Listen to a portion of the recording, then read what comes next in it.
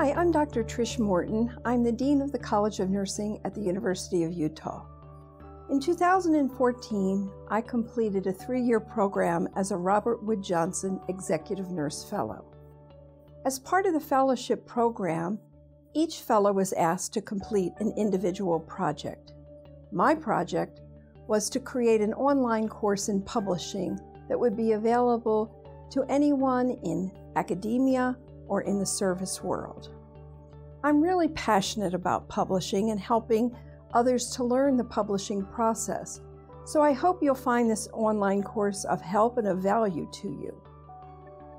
I've done a lot of publishing in my career, so I feel like I have a lot of good tips to offer you. I've published three textbooks. One textbook I did two editions, the other textbook I completed five editions. I've also published over 50 journal articles and many book chapters. I've served on the editorial board of eight journals, and for seven years I served as the editor of the American Association of Critical Care Nurses journal called AACN Clinical Issues. Currently, I'm the editor of the journal sponsored by the American Association of Colleges of Nursing called the Journal of Professional Nursing. The purpose of this course is to help the learner understand how to publish.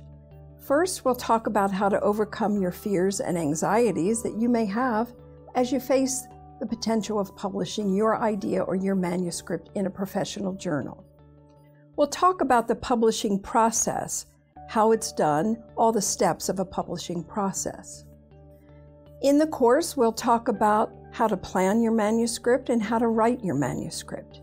And finally, we'll cover how to deal with comments from the reviewers and the editors.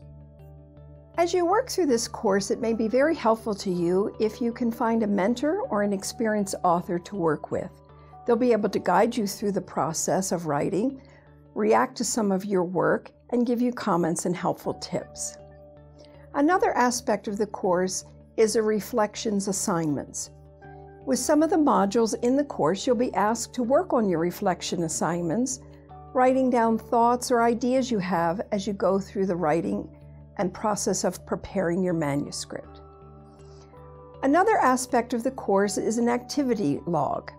In that activity log, you'll be doing some work associated with each module, and if you do step by step in your activity log, it will really help you tackle the writing process in a clear, concise, and stepwise fashion.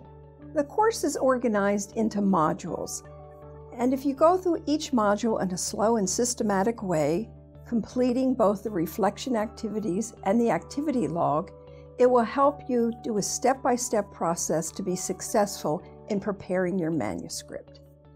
There are a series of modules, do one at a time in the sequence as suggested in the course.